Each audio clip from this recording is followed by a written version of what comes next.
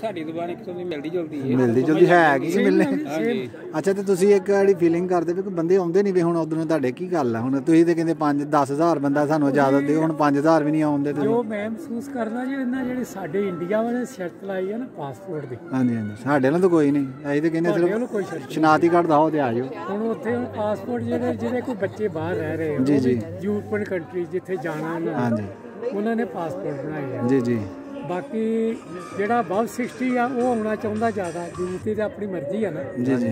ਤੇ ਉਹਨਾਂ ਵਿਚਾਰਿਆਂ ਦੇ ਪਾਸਪੋਰਟ ਨਹੀਂ ਆਏ ਨਾਲ ਡਰਦੇ ਨੇ ਕਿ ਉਹ ਤੇਰੇ ਸ਼ਨਾਤੀ ਕਾਰਡ ਤੇ ਹੋ ਰਿਹਾ ਠੱਪਾ ਲੱਗ ਜਾਣਾ ਤੇ ਬਾਅਦ ਚ ਕਿਸੇ ਜਾਇਆ ਨਹੀਂ ਜਾਣਾ ਕਿਸੇ ਮੁਲਕ 'ਚ। ਤੇ ਇੰਜ ਤੇ ਹੁੰਦਾ ਹੀ ਕੋਈ ਨਹੀਂ ਇਹਦੇ ਤੇ ਪਾਸਪੋਰਟ ਲੱਗਦੇ ਹੀ ਨਹੀਂ। ਤੇ ਲੇਕਿਨ ਉਹ ਅਕਸਰ ਮੁੰਡੇ ਕਈ ਸਮਝਦੇ ਨੇ ਕਿ ਜਿਹਨੇ ਕੈਨੇਡਾ ਜਾਣਾ ਜੀ ਉਹ ਕਹਿੰਦਾ ਜੀ ਬੱਚੇ ਜੰਗ ਨੇ ਨਾ। ਜੀ ਜੀ। ਉਹਨਾਂ ਨੂੰ ਹੈਗਾ ਪਰ ਮੇਰੇ ਖਿਆਲ 'ਚ ਕੈਨੇਡਾ ਹੁਣ ਯਾਰ ਕੀ 2 ਸਾਲ ਰਹਿ ਕੇ ਆਏ ਆ। ਜੀ ਜੀ। ਪਹਿਲਾਂ 10 ਚ ਗਏ ਸੀ ਫਿਰ 15 ਚ ਗਏ ਆ। ਕੋਈ ਮੇਰੇ ਖਿਆਲ 'ਚ ਇਹੋ ਜਿਹੀ ਤਾਂ ਕੋਈ ਨਹੀਂ। ਉਹ ਤੇ ਤੁਸੀਂ ਉਹਨਾਂ ਨੂੰ ਦੱਸੋ ਕਿ ਬਾਬਾ ਜੀ ਖਤਮ ਕਰੋ ਸ਼ਨਾਖਤੀ ਦਾ ਉਹ ਪਾਸਪੋਰਟ ਤੇ ਕੋਈ ਨਰਮ ਕਰੋ ਕੋਈ ਕੰਮ ਆਪਣੇ। ਅਸੀਂ ਤੇ ਬਹੁਤ ਕਹਿੰਦੇ ਆ ਜੀ ਚਾਹੁੰਦੇ ਵੀ ਆ ਹੋ ਜੇ ਹਾਂਜੀ। ਆਸਤਾ ਤਾਂ ਹੋ ਸਕਦਾ ਅਸੀਂ ਤੇ 5000 ਬੰਦਿਆਂ ਦੇ ਇਸਤੇਮਾ- ਇਹ ਬੰਦੋਬਸਤ ਕਰਕੇ ਬੈਠੇ ਨੇ ਤੁਸੀਂ 200 400 500 ਹੁੰਦੇ ਹੋ ਸੈਂਕੜੇ ਜਾ ਰਹੇ ਹਾਂਜੀ ਉਹ ਆ ਜੋ ਕੋ 200 ਆ ਜਾਏਗਾ 300 500 600 ਲੇਕਿਨ ਕਮ ਕਮ ਸੰਡੇ ਵਗੈਰਾ ਉਦੋਂ ਥੋੜੇ ਜਿਹਾ ਵੱਧ ਜਾਂਦੇ ਹੋਣਗੇ ਅੱਛਾ ਅੱਛਾ।